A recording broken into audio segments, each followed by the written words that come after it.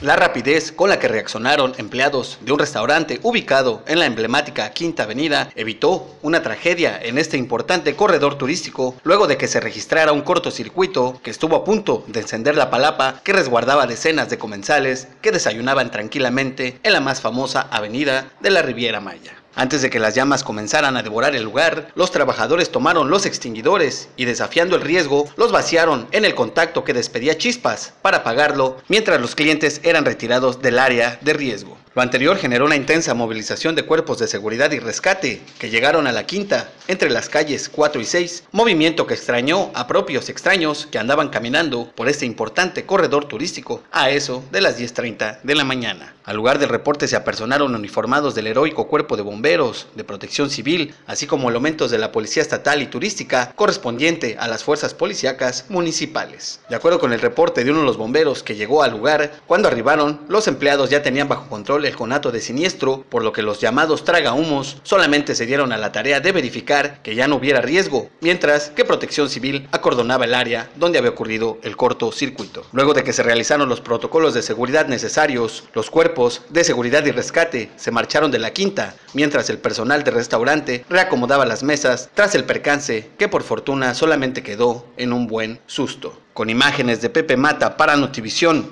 Luis García.